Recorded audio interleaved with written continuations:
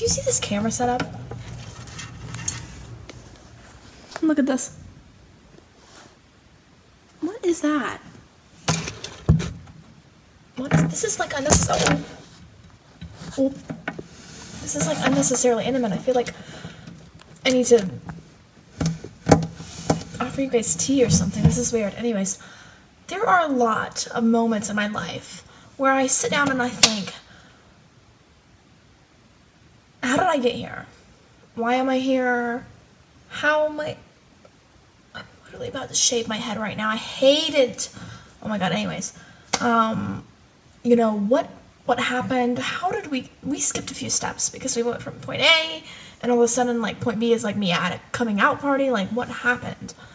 And I just wanted to say that there will be, you know, just like in life, moments in your HOCD journey where you will um, have a lot of accidental exposures that will make you pee yourself.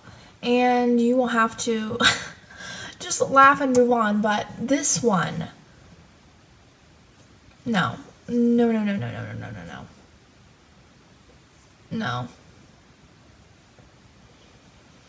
No, I'm swaying just thinking about it. It was it was the ultimate exposure. I had been invited to this birthday party and I didn't really know um, the girl that well at the time. I was just like, yeah, I'll come to your birthday party. Um, like, who cares? Whatever. And I don't know if it was like a month or a couple of months went by. I don't, time time happened and time passed. And all of a sudden, I, you know, I'm at her party, and my mom's like, oh, is this a dress up party? Like, why are they dressed as, um, why are they dressed up? And I'm like, I couldn't tell you that. I, I don't really know. I was kind of confused. I was wearing a dress though, so I was like, whatever. And I just set my purse down in a chair and I was like, hey, um, there were probably 10 other girls there, I think, maybe more. Um, I don't know, there was just a lot more than I thought, right? So I'm walking there and I'm with my best friend. She's probably gonna watch this and she's gonna be like, Why are you bringing me into this? For fun. For fun. And I just noticed everyone was kind of like coupled up and I'm like,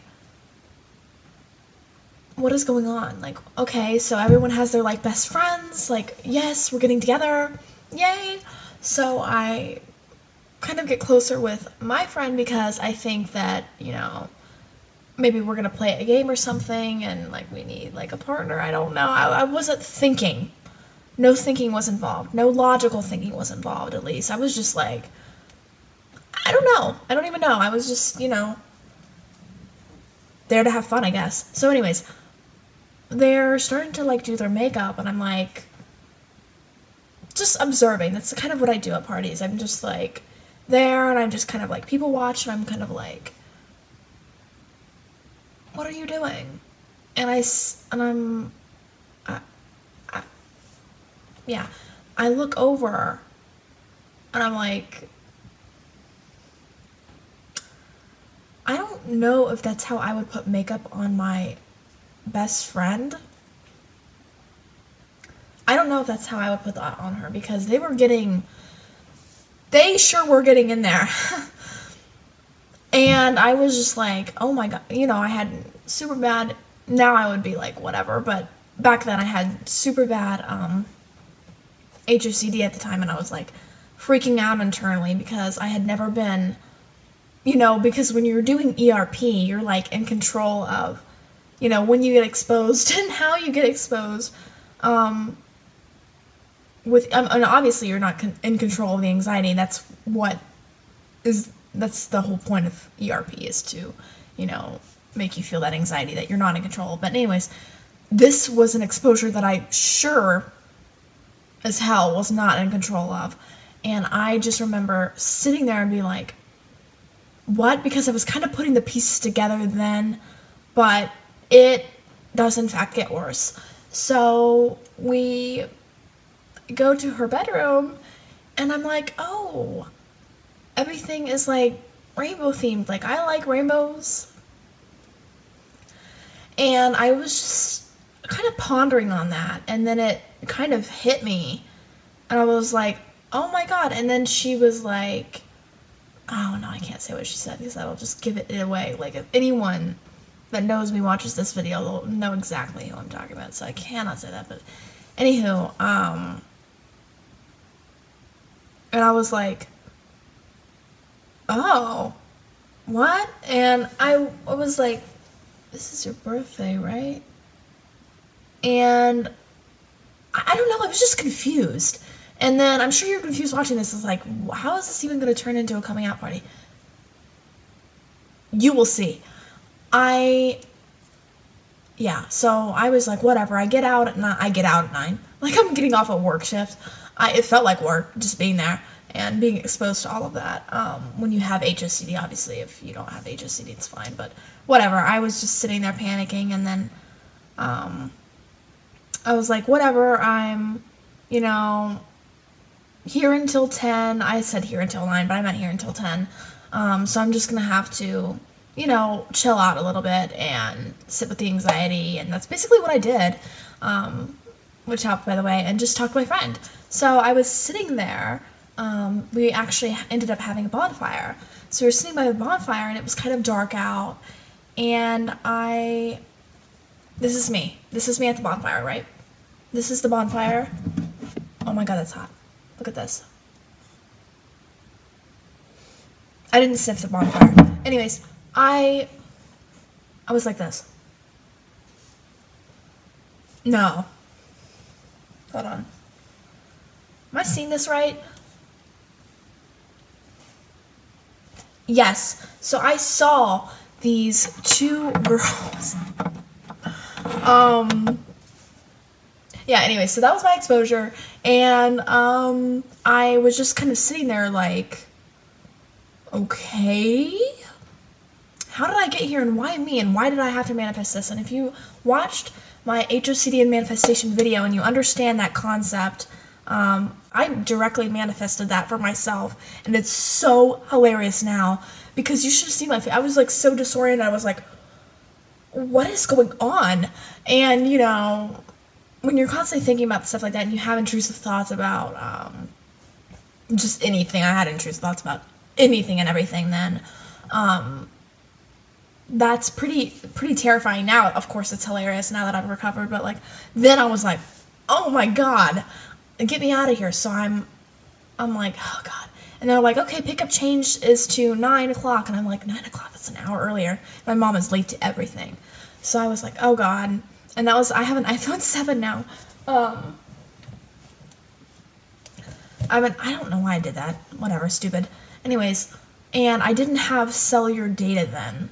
So I had to use this girl's hotspot. I love, I don't even know her, but I love you. If you're watching, I love you. She handed me her hotspot.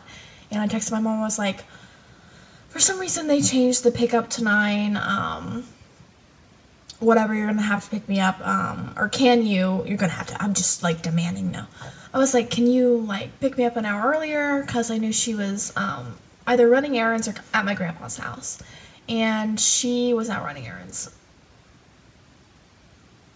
And it took her forever to get there. And it gets worse. So I'm standing there, like, just waiting for her to get there. Everyone's moms, obviously, come there. And my friend is like, Martha, like, do you need a ride? I'm like, no, you're fine. Like, you, you came, like, you, you're fine, okay? You're fine. So, whatever. I, you know, watched everyone leave. I was just kind of sitting there thinking, you know what? If she's 15 minutes late, it's fine. She was an hour late. And what made it worse is that they apparently had a sleepover, a special sleepover that I was not invited to for whatever reason. I couldn't possibly think of why I was not invited to that.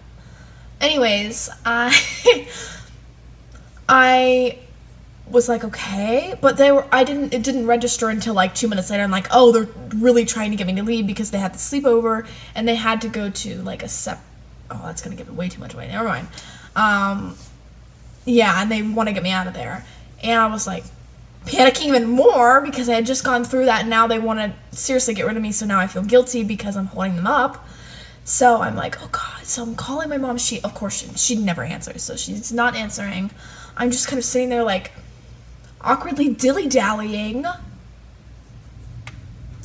And uh, I don't know what to do. I don't know what to think. I'm just kind of sitting there alone. My friend's gone. I'm just uh, traumatized. I finally see this car pull up, and it's my uncle. But I thought I was expecting my mom. So I saw his car. I was like, "That's not my car. That's not my car." And I was kind of like in this like panicky mode because I was in that mode all night. And then he was like, "No, it's me." And I was like, "Thank God!" I was like, "Oh my God!" I like hopped in there. I did a somersault. I was like, fireworks were going off. Like I was so ready to get out of there. And he was like, "So how did it go, Maddy?" And I was like, "Gay."